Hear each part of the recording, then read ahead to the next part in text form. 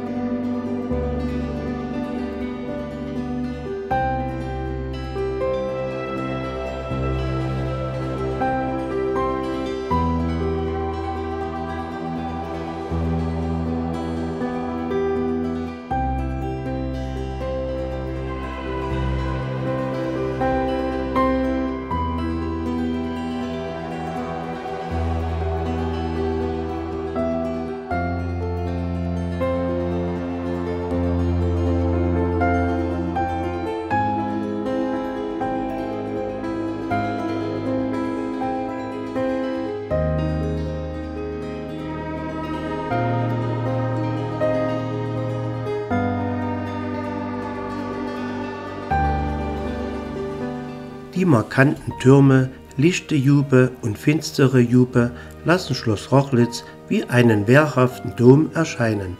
Ursprünglich als Wohntürme geplant, beherbergen beide Türme auch heute noch Verliese und die Folterkammer.